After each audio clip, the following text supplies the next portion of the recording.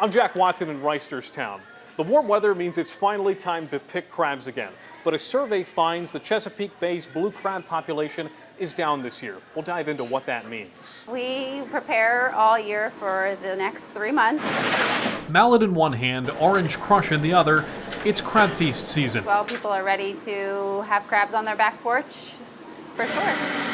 Hope Otto knows firsthand as owner of Reter's Crab House and Grill in Reisterstown in the wake of the Memorial Day rush. A lot of our watermen and a lot of our crab suppliers keep us abreast of things that are going on, um, weather dependencies and things like that. So if they know that a bad storm's coming in, we'll be able to get um, crabs earlier in the week or things like that.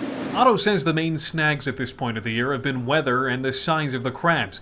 Big picture, though, the Maryland Department of Natural Resources found the crab population in the bay is down, but also calls it sustainable.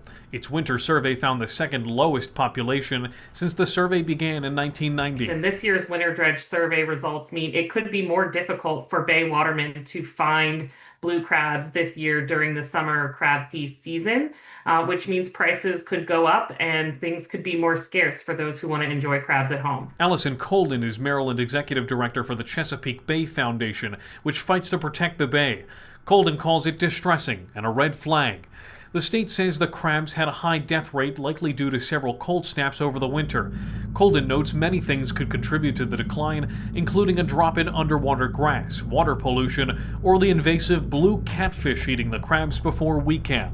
In response to these distressing survey results, we're hoping managers in Maryland and Virginia will look to reduce crab harvests overall, with a particular eye in Virginia towards the increasing harvest of male crabs and in Maryland to the harvest and import of sponge crabs, which are female crabs which have eggs and are ready to spawn.